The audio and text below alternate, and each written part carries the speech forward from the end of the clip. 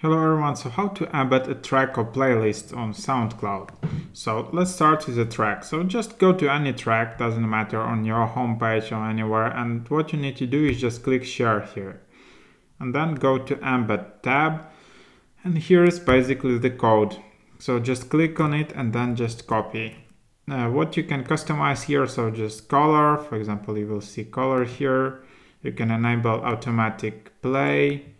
Uh, that's basically it. And of course like uh, you can customize height. So something like that. And uh, as I understood you no longer need like a WordPress code.